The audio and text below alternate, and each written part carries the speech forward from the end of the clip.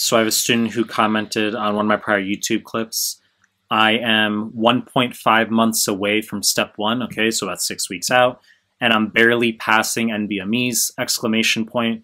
What should I do in this case? And then many people liked that comment. So uh, clearly it's something people really want to know about as far as, you know, you're barely passing NBMEs, what should you do? And then you're X number of weeks out, whether it's six weeks out, four weeks out, okay, two weeks out. What are we going to do? How are we going to how are we going to get your score up as much as possible?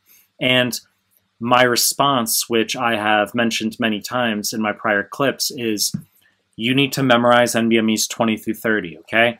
This is going to be essentially an activity of mine, uh, just somewhat continually slash perennially, where some of you guys who've seen my content already, you say, Michael, but you've said that like 90 times already. And I'm like, yeah, I know. Okay. But there's many people who clearly haven't heard me say it, or they're not going to scroll back fucking 30 clips in my YouTube and then 70 clips back in my YouTube.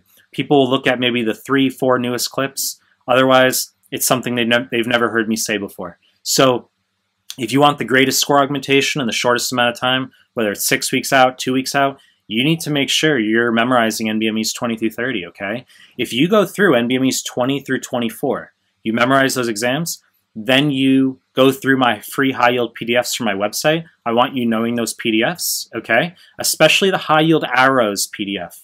I will link that in the description below, okay? High yield arrows.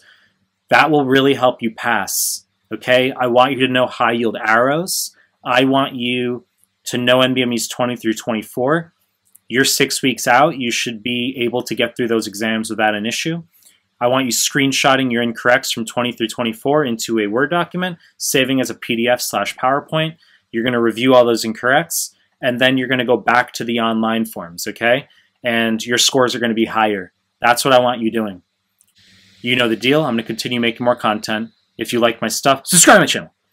And I appreciate your time. That's it.